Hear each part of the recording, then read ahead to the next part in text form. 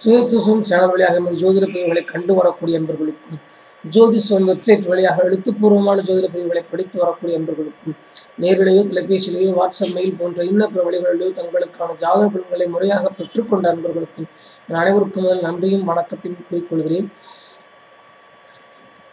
லக்னம் விட்டு பன்னிரெண்டு ஸ்தானங்கள் வரை நவகிரகங்கள் இருந்தால் ஏற்படுத்தக்கூடிய சாதகமான மற்றும் பாதகமான பலன்களை பொதுவான அடிப்படையில் தொடர்ந்து பார்த்து வருகிறோம்.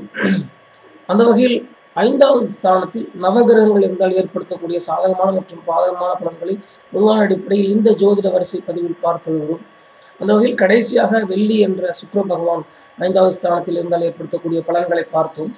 இப்போது வெள்ளிக்கு அடுத்ததாக இருக்கக்கூடிய சனி கிரகம். இந்த சனி கிரகம் ஒருவருடைய ஜாதகத்தில் ராசிசக்கரத்தில் லக்னத்திலிருந்து எண்ணி வரக்கூடிய ஐந்தாவது வீட்டில் ஐந்தாவது ஸ்தானத்தில் சாதகமான மற்றும் பாதகமான நிலையில் இருந்தால் ஏற்படுத்தக்கூடிய பொதுவான பலன்களை இப்போது நாம் பார்க்க இருக்கிறோம். ஐந்தாவது ஸ்தானம் என்பது ஒரு பூர்வ புண்ணிய ஸ்தானம் என்ற ஒரு சிறப்பு பெற்ற ஒரு ஸ்தானம். இந்த ஸ்தானம் முக்கியமான ஒரு விஷயத்தை தீர்மானிக்கக்கூடிய ஒரு ஸ்தானம். அதாவது மனிதர்களில் இரண்டு கேட்டகரி ரொம்ப முக்கியமான கேட்டகரி. ஒன்று வந்து இறைவனை முதலாக வைத்துக்கொண்டு இறைவனையே ஆதிசக்தியாக வைத்துக்கொண்டு அவருடைய கருணையினாலும் அவருடைய அருளாலும் தான் நம்மளுடைய எல்லா காரியங்களும் நடக்குது. அதில் வெற்றி தோல்விகள் நடக்குது. அவருடைய அருளால் தான் நமக்கு நல்லதுகள் நடக்குது. அதுபோல் அவருடைய சித்தத்தினால் அவரோட கட்டளையினால் தான் நமக்கு துன்பம் கூட வருது. அப்படின்னு நினைக்கக்கூடிய ஒரு கேட்டகரி தன்னுடைய எல்லா செயல்களுக்கும் இறைவன் தான் முதல் காரணம். அவருடைய வழியாக தான் எல்லாமே நடக்கிறது. அதில் கிடைக்கக்கூடியவற்றை இறைவன் தந்ததாக நினைத்து ஏற்றுக்கொள்ள வேண்டும் என்ற ஒரு கேட்டகரி. இன்னொரு கேட்டகரி வந்து இறைவனை பெரிய அளவில் முக்கியத்துவம் கொடுக்காம இருக்கார் அவர் பாட்டுக்கு இருக்காருங்க. நம்ம உழைச்சாதான் நமக்கு சோறு. நம்ம தான் பாடுபடணும். நமக்கு வேண்டியதை நம்ம செஞ்சுக்கணும். நம்ம தப்பு செஞ்சால் தோல்வி நமக்கு தான் வரும். நம்மளுடைய க காரியங்களுக்கு செயல்களுக்கு விளைவுகளை நாம தான் எடுத்துக்கணும். அது நான் நல்ல விளைவாக இருந்தாலும் கெட்ட விளைவாக இருந்தாலும் நாம தான் அதுக்கு காரணம் என்று பார்க்கக்கூடிய ஒரு கேட்டகரி. இந்த ரெண்டு கேட்டகரியில் தீர்மானிக்கக்கூடிய கேட்டகரி அது ஐந்தாம் ஸ்தானம் முக்கியத்துவம் படக்கூடியது இந்த கேட்டகரியில். அதில் சனிங்கிற கிரகமாகப்பட்டது ஐந்தாம் வீட்டில் ஒருவனுக்கு இருக்கும் என்றால் சாதாரணமான நிலையில் ஒரு நல்ல நிலையில் அந்த சனி அங்கே சாதகமான நிலையில் இருக்கும்போது நான் இப்போ சொன்ன இந்த முதல் கேட்டகரி ரெண்டாம் கேட்டகரியில் இரண்டாவது கேட்டகரி அதாவது இரண்டாவது வகையில் சனி ஐந்தாம் வீட்டில் இருக்கக்கூடிய நபர் சாதகமான நிலையில் இருக்கக்கூடிய நபர் இந்த இரண்டாவது கேட்டகரியில் இருப்பார். அதாவது தன் செயலுக்கு தான் தான் ஒரு காரணம். தான் தான் உழைத்து செய்ய வேண்டும். தன் தனக்கு இறைவன் சோறுபட மாட்டான். தனக்கு தான் தான் உழைத்துக் கொள்ள வேண்டும். தன்னுடைய நல்லதுக்கும் தனது கெட்டதுக்கும் தான் தான் ஒரு காரணம். அதனால் ஒரு தன்னை சரியாக வைத்துக்கொண்டு தன்னுடைய காரியங்களை தான் சரியாக செய்தோம் என்றால் நல்ல வெற்றி கிடைக்கும் என்று தன்னை முதல் முன்னிலைப்படுத்தி செய்யக்கூடியதாக ஒருவன் அமைத்துக் கொள்ளக்கூடிய வாய்ப்பு. இந்த ஐந்தில் லக்னத்திலிருந்து ஐந்தாவது ஸ்தானத்தில் சனி நன்றாக நிலையில் இருக்கும்போது ஒருவருக்கு கிடைக்கும். அதே நேரத்தில் அப்படி ஒரு நல்ல நிலையில் சனி இருந்தும் அதை குரு என்ற கிரகம் பார்த்தாலோ வளர்புரை சந்திரன் பார்த்தாலோ சில இடங்களில் சூரியன் பார்வை செய்தாலும் இதற்கு நேர் மாறாக நான் சொன்ன முதல் கேட்டகரி குணத்துக்கு அவங்க வந்துடுவாங்க எல்லாமே இறைவனுடைய செயல். இறைவனுடைய வழியில் தான் நமக்கு நடக்குது எல்லாமே. நல்லது கிட்டதில் இறைவன் தான் நமக்கு தர்றான்.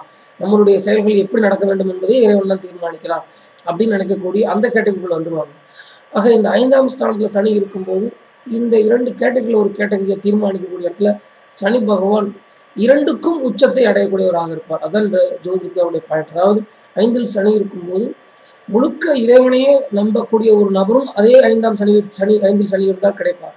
அதே போல இறைவனை முதலில் நம்பாமல் இறைவனை முக்கியமாக நம்பாமல் முதன்மையாக நம்பாமல் தன்னை முதன்மையாக நம்பக்கூடியவனும் இதே ஐந்தில் சனி இருக்கும்போது கிடைப்பான். அந்த இரண்டு அம்சங்களும் இந்த ஐந்தில் சனி இருக்கும்போது ஏற்படும். அது மற்ற கிரகங்களின் தாக்கத்தை பொறுத்து இந்த ரெண்டு கேட்டகரியில் எந்த கேட்டகரிங்கிறத நம்ம எடுத்துக்கொள்ளலாம். அடுத்து பொதுவாக பார்க்கும்போது ஐந்தாம் ஸ்தானத்தில் சனி இருக்கும்போது வாழ்க்கையில் ஒரு ஒழுங்குமுறையை கையாள்பவராக வாழ்க்கையினுடைய அக்கறையோடு வாழ்க்கையை எடுத்துக்கொள்ளக்கூடியவர்களாக இருப்பார்கள். சாதகமான நிலையில் சனி ஐந்தில் இருக்கும்போது. அது மட்டும் இல்லாமல் குழந்தைகளிடமும் தனது சகோதர சோதரிகளிடமும் ஒரு கடுமையாகவும் ஒரு கண்டிப்போடும் ஒரு ஒரு ஒரு ஒரு நேர் வழியிலையும் அல்லது முறையான வழியிலும் அவர் நடத்த பார்ப்பார்கள். கடமையை சுட்டிக்காட்டி வளர்ப்பது அல்லது கொள்கைகளை சுட்டிக்காட்டி வளர்ப்பது இது மாதிரி ஒரு வளர்க்கக்கூடிய தன்மை அவர்களுக்கு கிடைக்கும். அது மட்டுமல்லாமல் கடமை மற்றும் அன்புக்குரியவர்களுடைய பொறுப்பு உணர்வுடன் நடந்து கொள்ளக்கூடியவர்களாக இவர்களும் இருப்பார்கள். கடமை உணர்வுடனும் பொறுப்புணர்வுடன் நடந்து கொள்ளக்கூடியவர்களாக இருப்பார்கள்.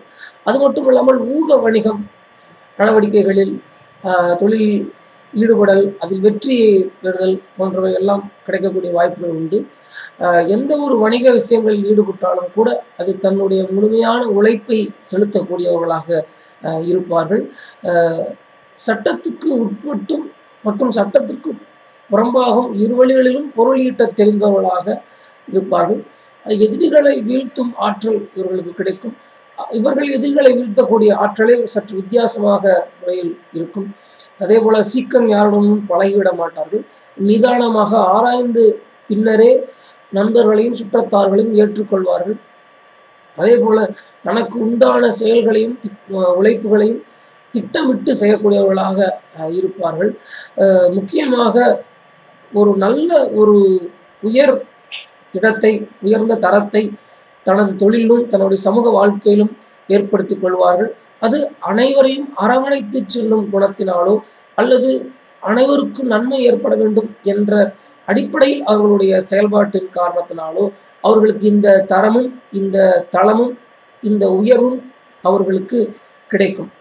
அதே போல ஒரு தொழில் சொல்லித் தருவதிலும் ஒரு வல்லவர்களாக இவர்கள் திகழ்வார்கள் ஐந்தில் சனி நன்றாக நிலையில் இருக்கும்போது அதே ஐந்தில் சனி பாதகமான நிலையில் ஒருவருடைய ஜாதகத்தில் இருக்கிறது என்றால் ராகுகேது தொடர்பு பெற்றால் சம்பிரதாயங்கள் மற்றும் பழக்கவழக்கங்கள் முறையாக கடைபிடிக்க மாட்டார்கள்.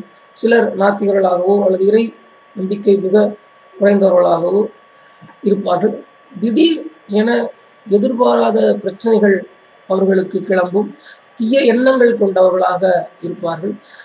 குழந்தைகள் சம்பந்தப்பட்ட விஷயங்களில் சில தோஷங்கள் அவர்களுக்கு ஏற்படும். ஐந்தில் பாதகமான நிலையில் சனி இருக்கும்போது அதே போல ஐந்தில் பாதகமான நிலையில் சனி இருக்கும்போது ஏதோ விதமான வியாதியோ அல்லது பலவீனமான அமைப்புகளோ அவர்களுக்கு ஏற்படக்கூடிய வாய்ப்புகள் உண்டாகிறது. மற்ற கிரகங்களின் தாக்கத்தை பொறுத்து இது இருக்கும்.